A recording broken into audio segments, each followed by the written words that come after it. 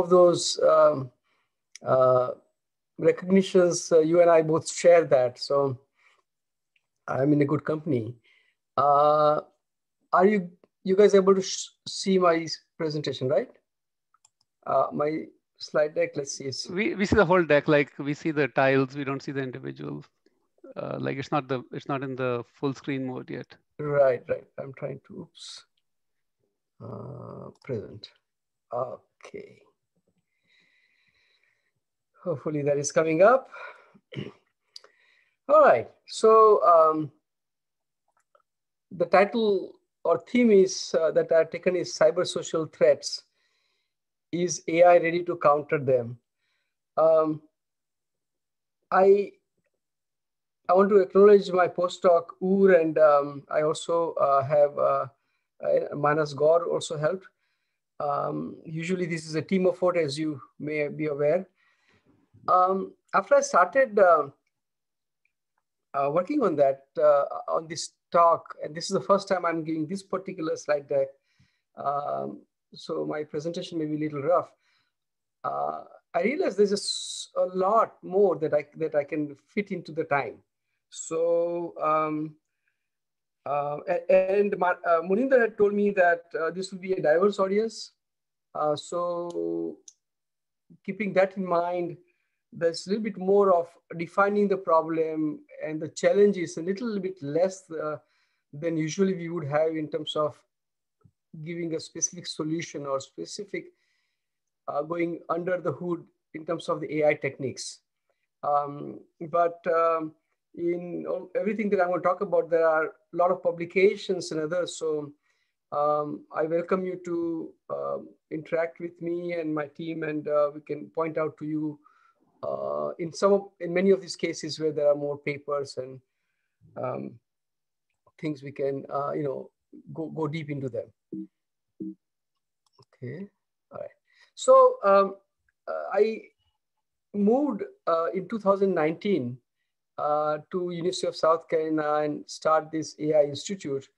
And uh, we've grown very fast. I moved with six of my teammates from Wright State in Dayton, and um, we're now about 25. And uh, the AI Institute has already a joint collaboration with uh, more than 10 colleges on the campus. So on this picture, you see the uh, technical areas that we are currently active in. Um, and uh, on the writer's right side, you're seeing the um, um, uh, areas of application or interdisciplinary AI work that we are working on. Um, and uh, let's see if there is a way to highlight. Okay. Um, we're going to be talking about the two areas at the bottom, uh, social good and harm and uh, public health. They're kind of related because uh, a number of public health applications we have uh, worked on has to have to do with um, um, social data and social media particularly and its implication of public health. And in, the, in that context, um, for you know, conspiracy theories uh, that are applied to, that are being used for uh, some social issues, but also public health issues as an example, or rumors or other things of that nature. Okay.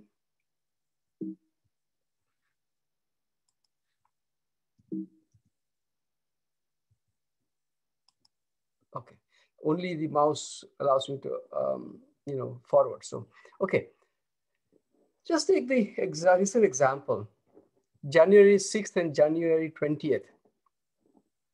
In this example, uh, you know, has huge implication, implication at the heart of our democracy and democratic institutions.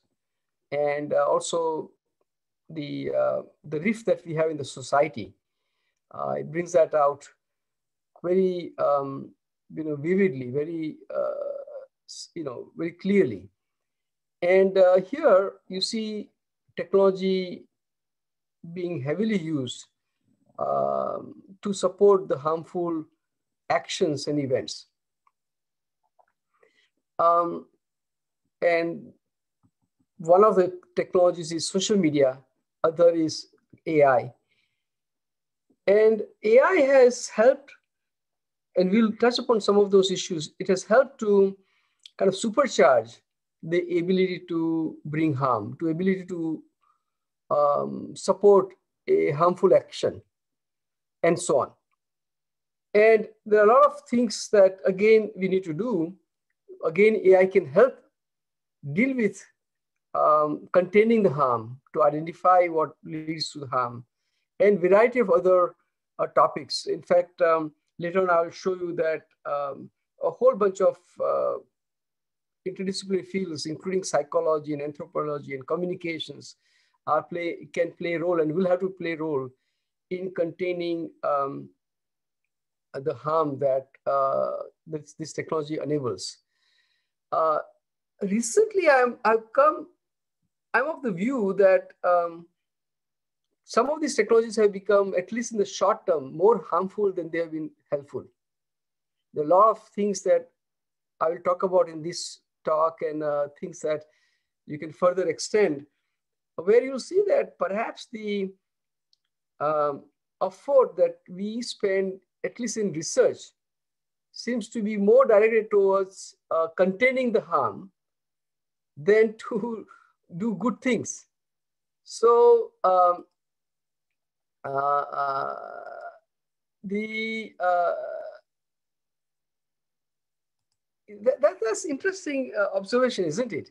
That um, we are creating the technology and then we have to use the same technology um, to deal with that harm. And in fact, we end up uh, spending so much of our time in, uh, now what is happening here? I, uh, okay, yeah. Um, uh, in, in dealing with the problem we have created for ourselves. Um, what could have been done? or what could be done. We can predict, plan, protect, identify, um, and and uh, counter. Right. So there are a lot of uh, pieces of uh, technology that we have to bring together um, to counter the problems that we are dealing with. Um,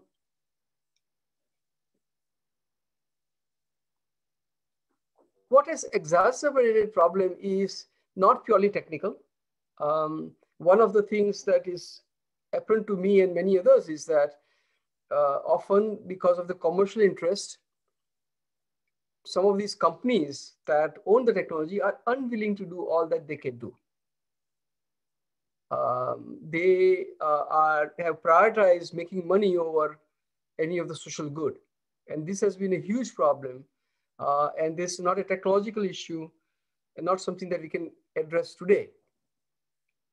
One interesting point uh, to note is that uh, one of the huge problem social media has is uh, toxic content and toxic, you know, it's a very broad term.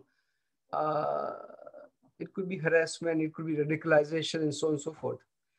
And um, it must be the case that handling this challenge is extremely hard because if it was easy, then Facebook would not have to hire 30,000 of this content moderator, right?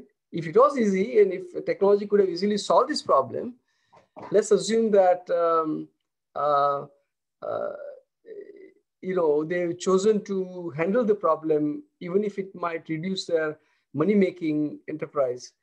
Um, the 30,000 people that it has hired uh, or, or whatever number it is now must be costing company a lot of money. If it was easy to hire, uh, address, well, they would have done it, I would say. Two of the technology reasons, and there's, I'm sure, a lot more. I'm just going to focus on um, these two of the many, is that understanding the content understanding the motivation, understand the, uh, uh, the action takes um, a lot more. And two particular things it takes is context and knowledge about the domain. And interestingly, the technology, the AI technology that has done so fabulously well, the statistical learning, the deep learning techniques, still have not come up to incorporate, to address or support these two issues very well. And that's, you know, if one or two things I want you to take away is exactly that. So, um, there is huge amount of content and there is a huge effort to use this huge amount of content to make to make these intelligent systems. So uh, one, big, one of the big things in AI recently has been this uh, large models, GPT-3 being the latest, that um, have been trained on very large amount of data, but the hammer kind of approach, you know, big hammer kind of approach, blunt-sided approach, actually has ended up being its severe limitation. We're going to look at that to some extent. Um, and additionally, the technology has significantly boosted the way um, things, uh, you know, boosted the ways to cause harm through disinformation, conspiracies, extremism, violence, and toxicity. These are some of the ones that I'm going to try and talk about given the time. Now, um, okay. Just further narrowing down to COVID-19, you are seeing so many problems. One of the interesting things that I wanted to notice and share with you is that these real world events seem to be supercharging these long-standing problems. So here you see content where you know coronavirus is being used for extremism and radicalization. Coronavirus is leading to self-isolation. Then just today or yesterday, I you know saw a major story about the increase in suicide. Um, and and, and, and various other reasons why people are killing themselves or, or hurting themselves or addicted and so on and so forth. Other related issue is this harassment.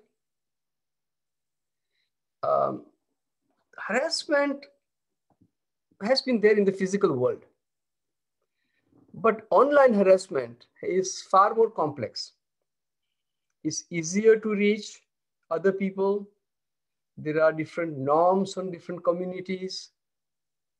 There are, um, we had one of, a uh, couple of my students uh, did a paper uh, and that received a huge, um, uh, I guess, media coverage in Times Magazine and uh, various uh, international media and all had coverage. The work was on, on, on use of curse words. And um, you know, on the content, you'll find that there is a very large uh, percent of content that have curse words. And the interesting thing is that um, we had, uh, and we demonstrated how people are using curse word and uh, a lot of interesting insights came through that. Then we started working on the topic of harassment uh, on social media.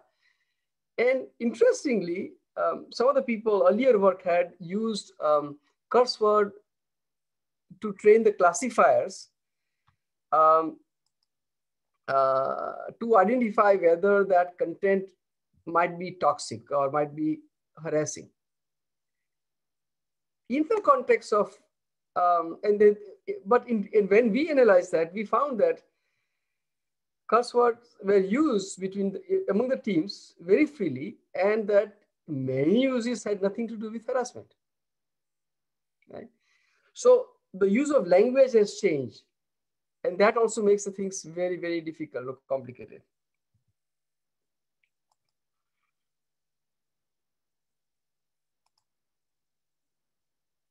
Let's look at the fake news, rumors, and disinformation. One interesting thing here is that um, the same problem has it can be seen from many perspectives. For journalism, it could be trust issue. For political science, it is human behavior. Psychology, it's um, decision-making progress. Computer science, detection and classification, analyzing users, network, all of those kind of issues. For interdisciplinary perspective, it is modeling cognitive, neural, and social perspectives. So um, we did an interdisciplinary proposal, um, uh, and that involved uh, neural models, uh, people in psychology and uh, brain sciences, uh, that involved psychologists, and um, people in technology and social, uh, in social sciences, and then in the middle, people in the technology, the kind of things that we can in computer science do. Um, in the context of rural, rural, the next you know thing below on the uh, bottom left is uh, about uh, dealing with the rumors. Um, so these tell you that if you want to solve some of these problems related to social harm, computer science alone is not going to cut it. And that um, to that makes it for, you know, so that what happens is that um, you look at a problem, it look like, you know, it, it looks like um, big problem. You know it's a big problem. It looks like um, low-hanging fruits and you build a little classification system and say you can identify harassment. No, it's far from it.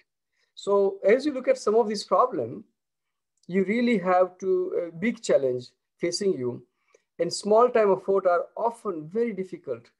Uh, I mean, uh, are often very limited in solving the real problem. Two of the things, as I said, I want to address are context and domain knowledge. Um, there are problems, some, many of these problems are such that, let's say, you really have to understand the content. And the people that were, have to understand the content are um, not that easily available.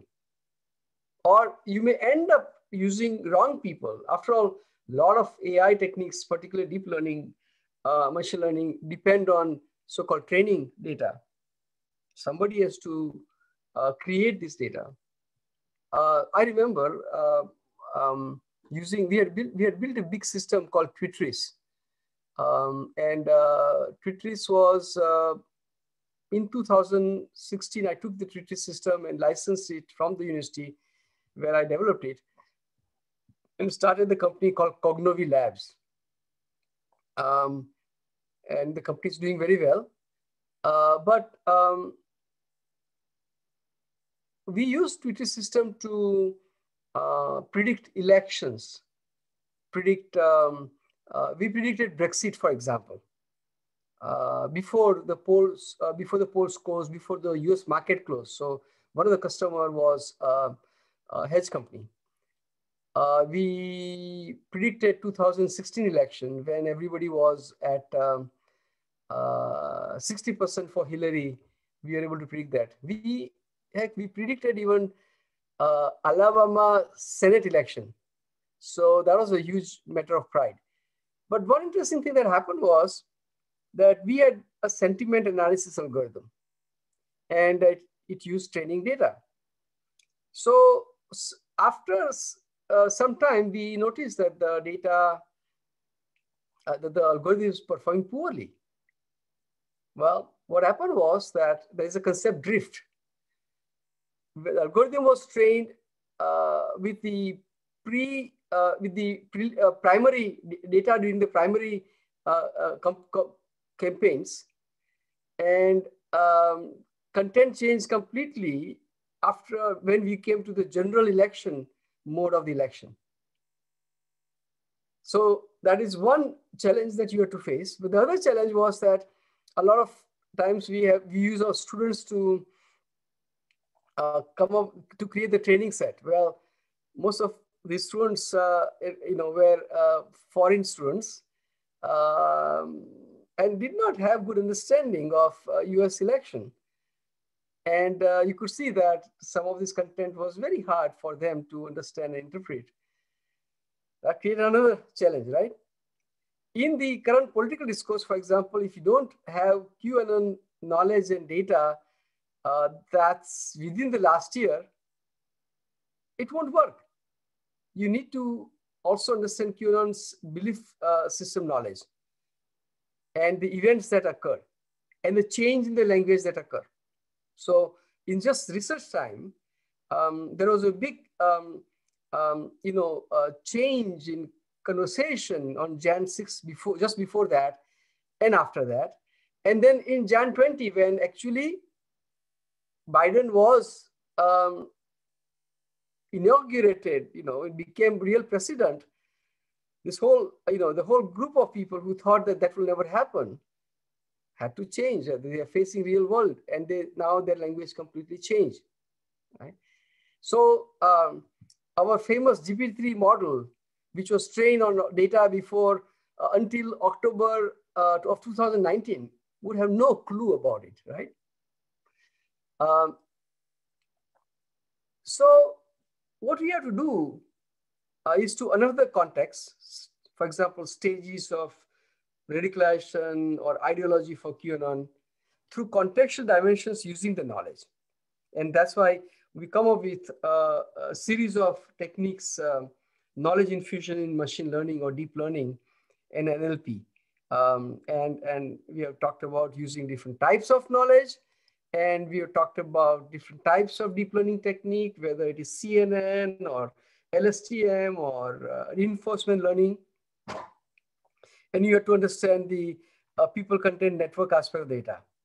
So the understand this, to understand the complex problem, data alone is not sufficient. Big models will not solve the problem either. And you can't use X2 uh, when a scalpel is needed.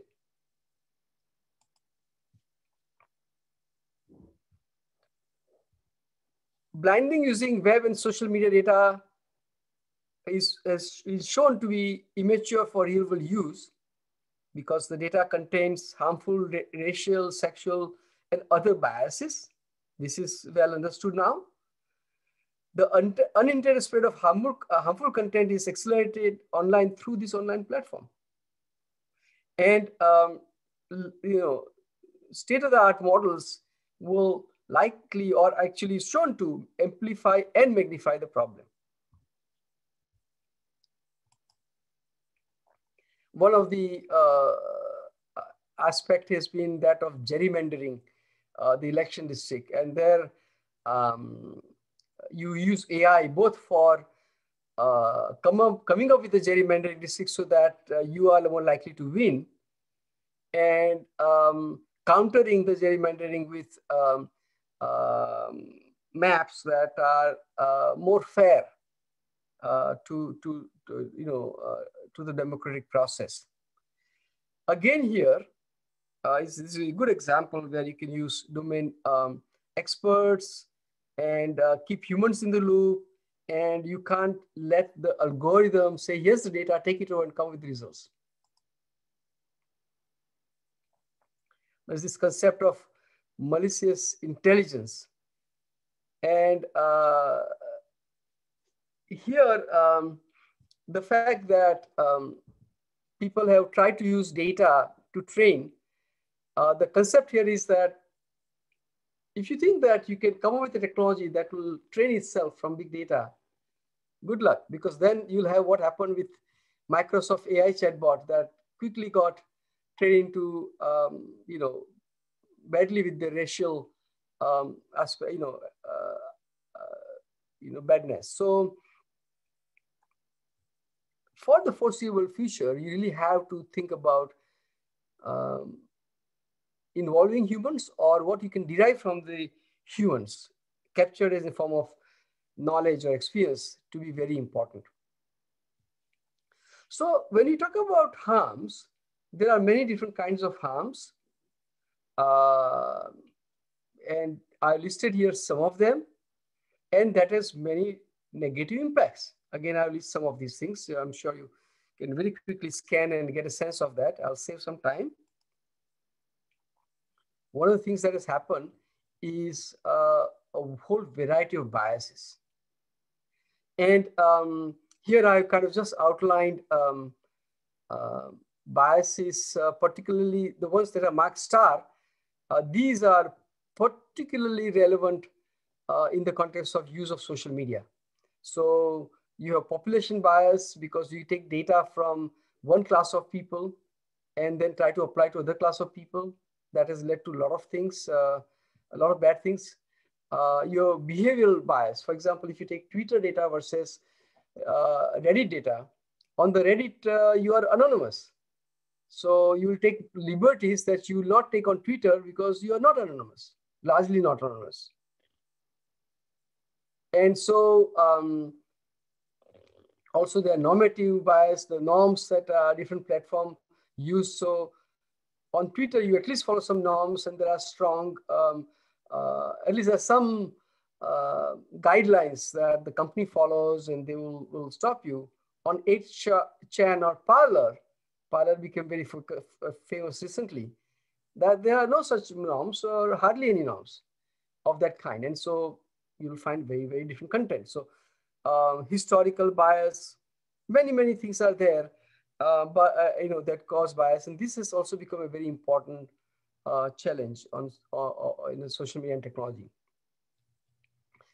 Distrust in public institutions is one of the huge things, and we have seen, uh, uh, you know, the impact upfront very recently.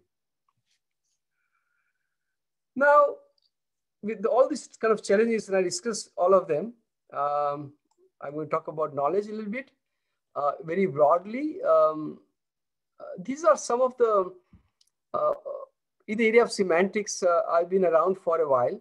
Uh, and these are some interesting um, things that we've done uh, in the last 20 years. Um, my first run into semantics goes back to 1988, 87.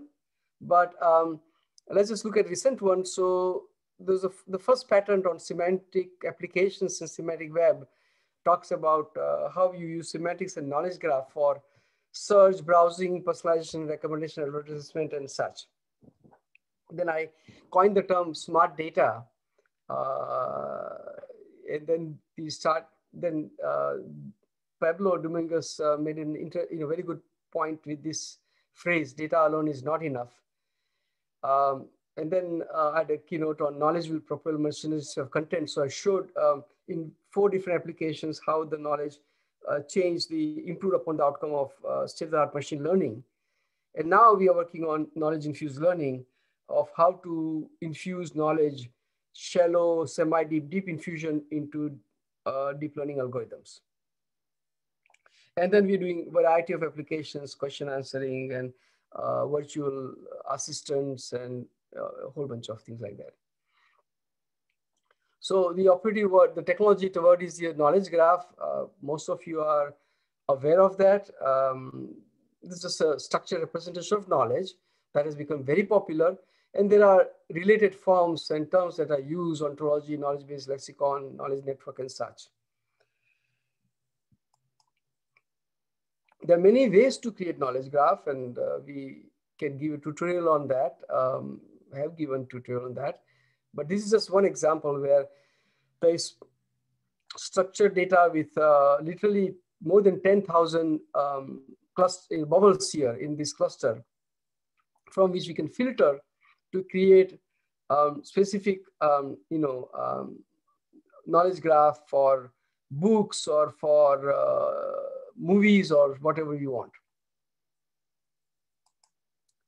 And um, this role of knowledge now has become very um, pervasive, comprehensive. Um, here, uh, we talk about a mm, pipeline of uh, processing that start with knowledge extraction, alignment, cleaning, and then knowledge mining and knowledge-based question answering and many other things. This this I just fit in our work in the context of uh, this uh, seminar given by some guys at a course in, uh, in Stanford. Let's see how we use knowledge graph and in this kind of social harm application. One of the um, things that we have looked at, and I'll come back to this later on, is um, this system called Sacademic that we have built. But this is to study um, the challenges related to mental health, uh, addiction, and gender-based violence uh, during uh, COVID. And um, in this case, what you'll see here is that you start with a lexicon for gender-based violence that we had developed. We had a study um, uh, a few years ago. Another of my um, um, um uh, highly capable PhD student like came Kemafor, uh, Hemant Purohit, uh, worked on this topic and uh, uh, we manually built this uh, gender-based violence lexicon and analyzed content from five nations, Philippines, South Africa, Nigeria, US, and uh, uh, one more, and uh, studied the gender-based violence in these different countries and the different types of violence, physical, sexual, and so on and so forth. And um, we took that lexicon and um, used it to extract related concepts from DBpedia so that now we have many more concepts, so synonyms or related terms can be identified. So we can have lot better recall in finding the content related to whatever you're doing, in this case, gender-based violence. And then we enrich the uh, lexicon uh, for gathering more abstract meaning of uh, GBV tweets. And uh, for the COVID-19 tweets that uh, came from, uh, uh, you know, from the from social media platform, we computed the GBV kind of stuff here. But the point here is that we got uh, very high recall um, and and also high precision because these terms are kind of organized and later on you'll see that um, uh, same terms used in one context could be a violence and other context is not a violence. Um, one of the uh, you know areas that you know very close to me now is this combination hybrid AI systems or neuro-symbolic systems, and particularly enabling that through the use of knowledge. So there are a lot of people working on this area, but um, particularly um, how the knowledge can be can make this uh, combination possible. Um, and and the analogy for me is uh, you know I'm from cognitive science.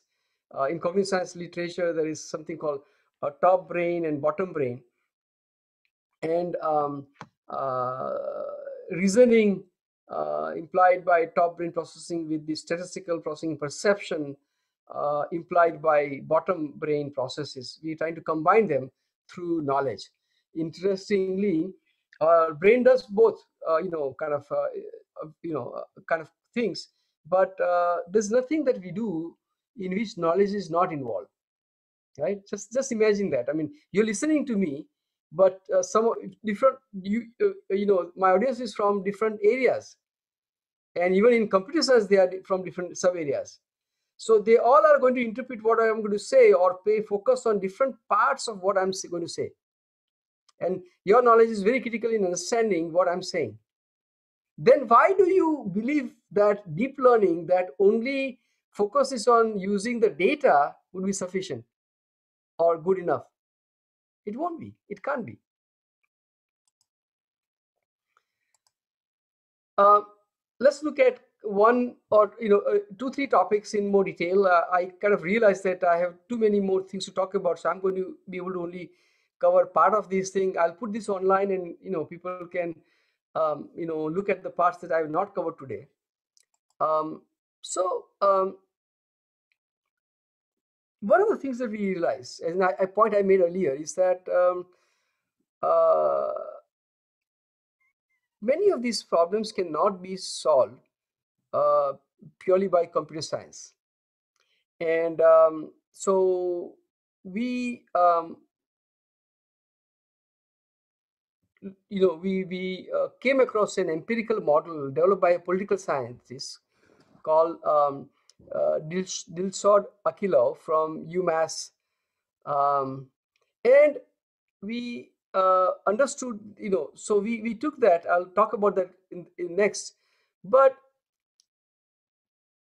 it was necessary to analyze the content in context to get a deeper understanding of the factors that characterize um, the the radicalization process. And uh, you know empirical model you know helped us characterize on this uh, five level uh, 0 1 2 3 4 level of um, radicalization. And how the extremists how the uh, jihadists were using social media to take um, uh, disenchanted youth uh, through this process in a rather systematic way.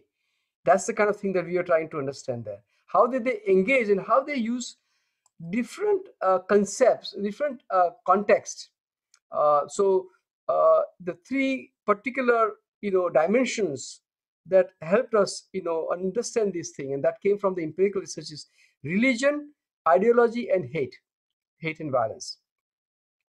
So what we what we set out was to try and understand the content um, and the conversations that happen for uh, in the context of radicalization and recruiting of um, uh, you know uh, uh, of, of, young people online by jihadists.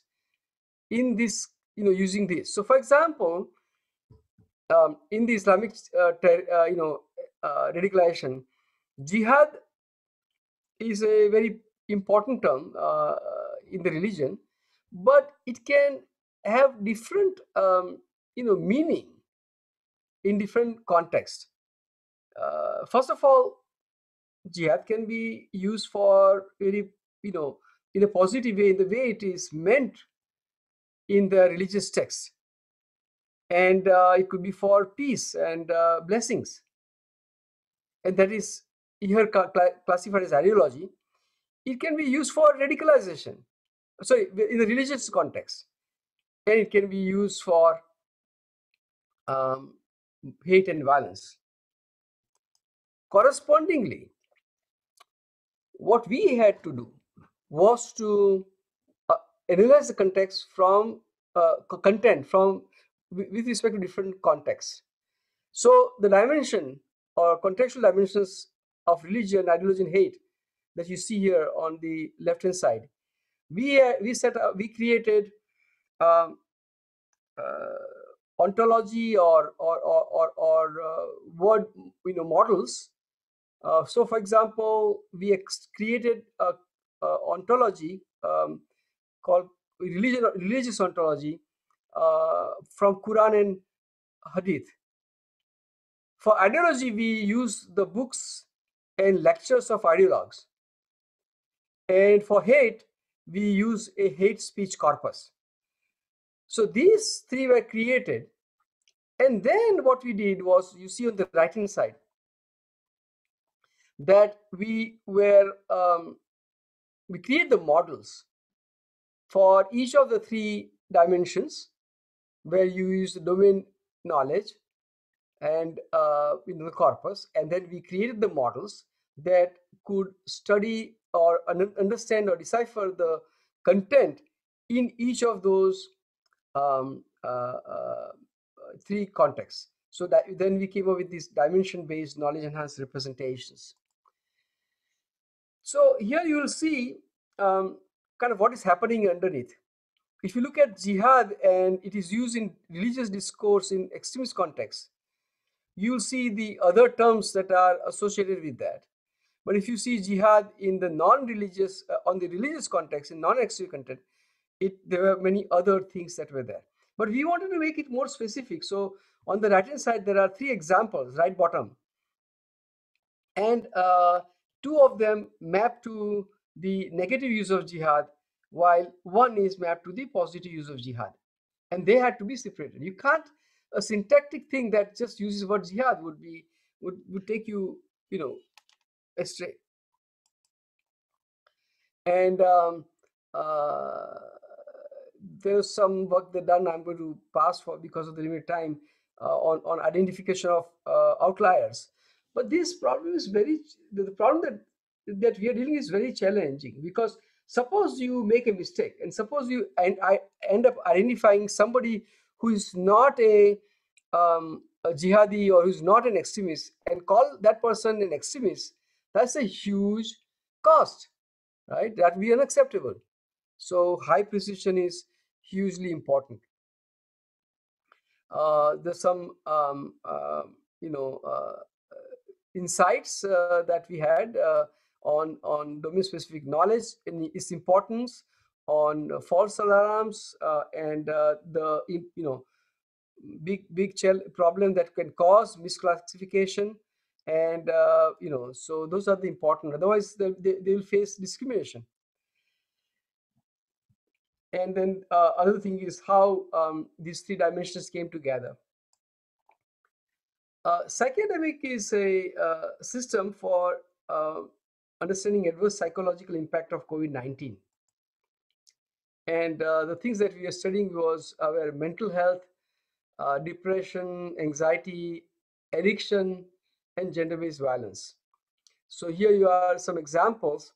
Social media uh, reveals impact, uh, you know, um, so uh, here uh, you can see mental health, addiction, and violence uh, related things. And the architecture you see is given here you we had Twitter data, two, 2 billion since March, uh, and, and 700,000 um, articles, news articles, and a whole bunch of sources for knowledge extraction. And then we kind of extend the kind of uh, architecture that I've shown you before with the knowledge infused NLP uh, uh, you know, techniques uh, that uh, then were applied.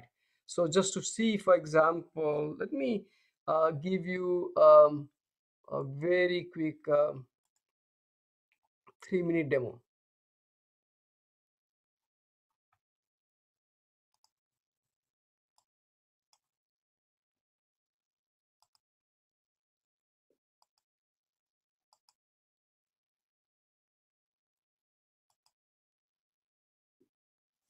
Carolina, to use AI and big data to get deep insight in, into what is coronavirus doing uh, to the society. This is once in a century event about significant impact of this pandemic and we that we want to study. Our approach involves using deep domain knowledge about issues of mental health and um, addiction and combine that with deep learning algorithms to use what will we'll able to we've been able to use this on a corpus of Sorry, so 700,000 news articles. We defined an empirical social quality index called SQI that aggregates over these challenges.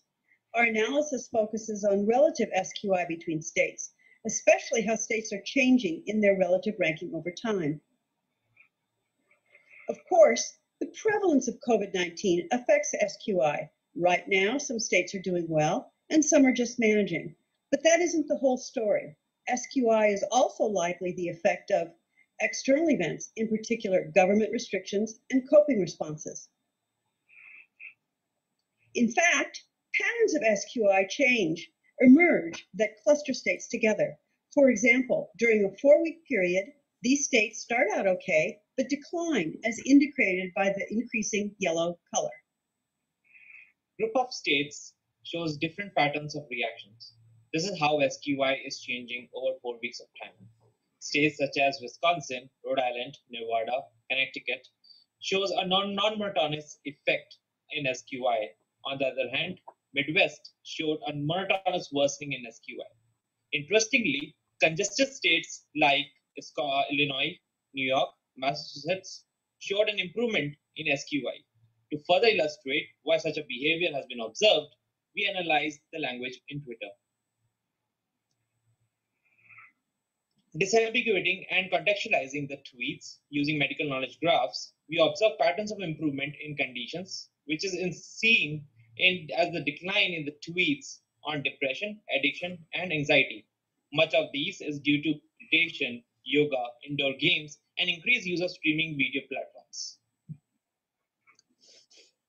Among many external factors, financial events and specific government interventions have substantial effect in the social quality of people, specifically business and individual relief announcements, business closures, increase in unemployment, and stay-at-home orders. Whenever the unemployment increase is much more significant than the previous week, the social quality is worse. And whereas whenever the individuals and businesses are given financial relief, the social quality is getting better. Concerning coping with the pandemic, our content analysis shows different generations react to react to the pandemic differently. For example, Gen Z population takes the lockdown as a vacation, talking about video gaming and Netflix shows, but also drug abuse and abuse in their families. On the other hand, millennials are more worried about social distancing, unemployment, and government response. As you probably observed, this is a powerful tool that gives you real-time insight into how the policy actions impact the society and it all right so go back and this allows me to uh, bypass uh, a lot of these slides. So uh, and then i have uh, you know bunch of things in terms of how uh, uh, you know the, the the telehealth uh, related work that's happening during the COVID time frame, and uh, um, the same general uh, topics um, on using, for example, communication that you could have. Suppose I have a, a chat bot or or virtual assistant to help with the mental health um, challenges uh, people face uh, uh, during COVID-19, then you know how do you use these general techniques and knowledge and uh, AI techniques to uh, come up with the conversations that are meaningful to the patient. And here, deeper understanding of uh, mental health literature and knowledge that clinicians use is also very critical to get to that in a very, um, you know, in general, what we are looking at is a highly multidisciplinary approach um, uh, that involves, uh, you know, neuro, neuro the the the, the uh, brain sciences and uh, cognitive sciences and so neuroscience, cognitive science, social sciences, and then go to the policy with computing. Very briefly, it was Goisto is going to end, ending this talk. Um, this is a class of work uh, that we have been doing quite a bit. Um, uh, use of knowledge in deep learning uh, to understand the content better and you know um, understanding uh, social content that may have social harm is very difficult uh, and um, we want to use this approach. We are using this approach to reduce the bias, uh, provide and explain how did the model come with that um, conclusion. So both interpretation and uh, uh, explain. Uh, so user, using knowledge infused learning for explainability is a very important um, content we have.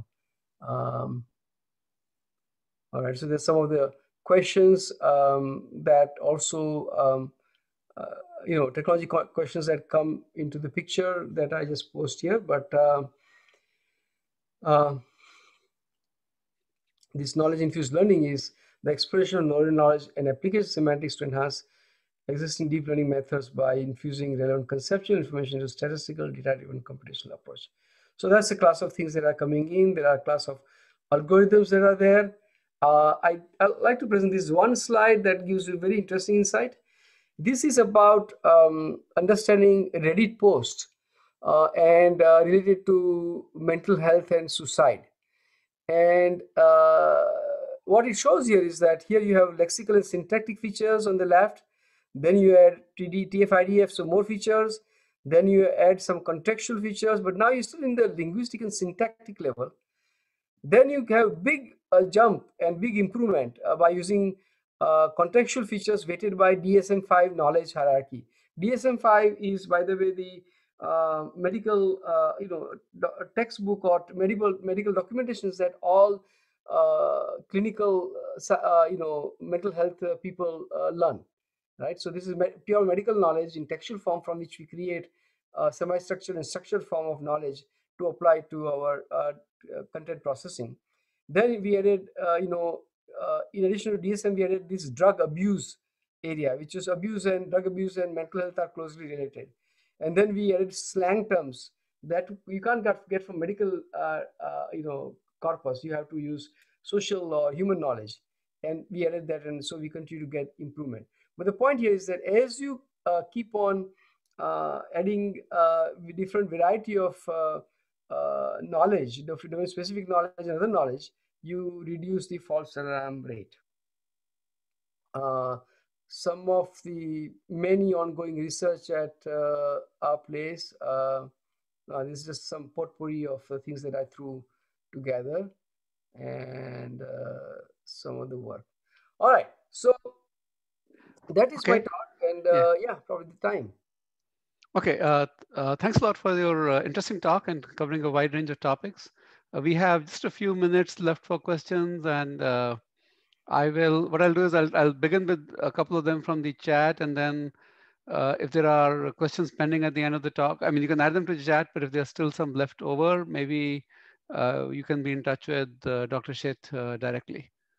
So, um, so let, let, me begin with a with a uh, somewhat non-technical questions from uh, Rahul Yedida. So what Rahul is asking is, um, uh, something about you know how to balance the advances in science and technologies that rely on uh, psychology. Uh, I think he's thinking he's mentioned the Cam the Cambridge Analytic Analytica stand, uh, scandal, where uh, psychological knowledge was used as a way to manipulate people. So he wants to think about how can we benefit from psychology without exploiting people using psychology.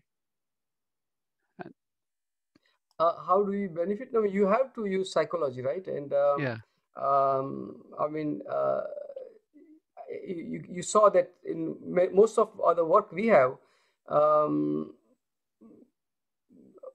Shell, uh, Valerie Shalin, uh, who is a, a, psychologist, has been uh, you know member of our team, and uh, everything almost that we have done um, has involved use of cognitive science or psychology. Right. Uh, I, I think the comment was it may be exploited that people can use psychological knowledge to manipulate users. Absolutely, absolutely. Yeah, yeah. It, it goes both ways it goes with it. The point here is that uh, psychology is going to be used anyway. The cost of using psychology to do harm is lower uh, than the cost of coming up with a solution that uses psychology to prevent that harm. Uh, unfortunately, so yeah, no, psychology is going to be used and is being used for causing harm, and um, but we need to understand that. We need to uh, convert that understanding into uh, techniques and algorithms and uh, uh you know to counter that right? So you can only uh, fight uh, you know you have to have similar weapon to fight you know the problem you're facing. You can't hmm. fight the guns with bow and arrow that effectively so yeah. you have to use both sides great yeah and then there's a comment from professor ed Gehringer and he's he's just commenting on your your comment about gerrymandering that uh, he thinks it may be uh, either I think he's talking about the processes by which uh, th these districts are drawn, and he thinks should be that he should uh, somehow settle upon an algorithm uh, before the census data is released, so people would not try to game the algorithms to produce the results they wanted. Yeah, I don't but, know if you have any thoughts on that. No, um, that, that is really uh, related to the political will and uh, process. Uh, you know, I think, um, and technology can help it if you have that will and process. Unfortunately, you know, the party that is in um, power has, you know, no use of that. So they, they want to benefit from whatever they are doing. So um, yeah, I, the, I mean, a lot of problems are so, uh, created by humans, not so. Technology alone does not create the problem. It's the human desire to, uh, you know, spread rumor or conspiracy that's, uh, you know, um, creates a bigger problem. Some people are totally ignorant and they still do it, but technology uh, is a more like a bullhorn. They it, it kind of um, spreads the things much faster and, and, and basically allows people to be much more effective uh, in causing harm um, or, or, coordinating bad, bad, bad uh, you know, events and so on and so forth. Um, and uh, because of that technology's role in amplifying uh, these negative things, uh, we have to also have technology to contain that better. Okay, uh, great. I think we've come to the end of our allotted time, so I'm going to uh, stop the formal discussion here. I think people who are, uh, and I see some comments are coming in on the chat, but maybe uh, if you wouldn't mind, send, uh, you, can, you can write to Dr. Sheth directly, but if you don't know how to contact him, write to me and I will uh, put you in touch with him as well. So at this point, let me, let me just thank, thank Professor Sheth. So we had up, up to about 98 attendees in this talk.